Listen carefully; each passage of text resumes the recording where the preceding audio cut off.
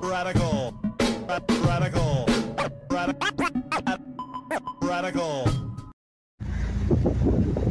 Oh yeah, I got something to show off for Show Off Saturdays.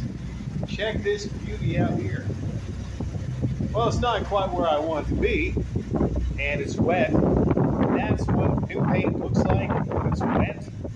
But trust me, when it dries out, it's not going to be uh, not even too great looking. Uh, show you real quick.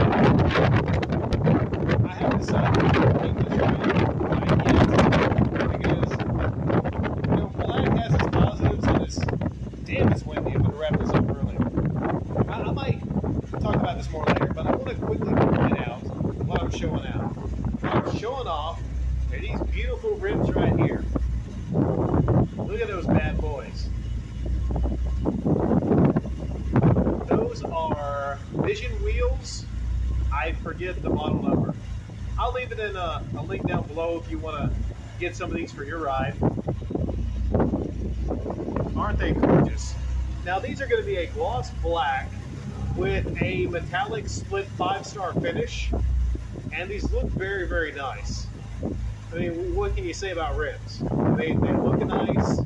They were about installed 500 and something. These are 15s. So one plus is if you have a smaller car like this, 15 inch rims are very very inexpensive, but they look very very very nice.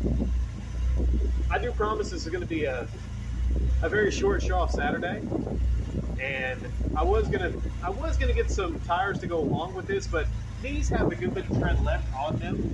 Although there is a little, a little bit of dry rot around the corners. I also was gonna shine these up so they match the gloss on the black, but I'll do that later.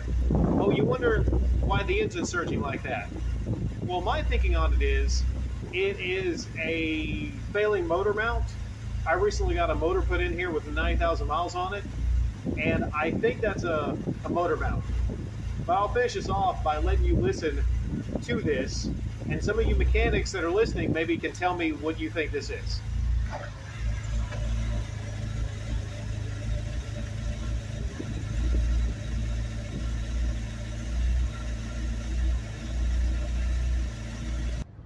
Bonus footage. Here I am with the Dollar Tree.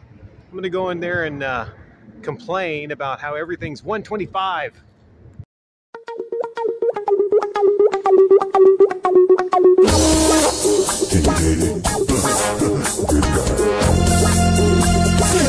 take a second of.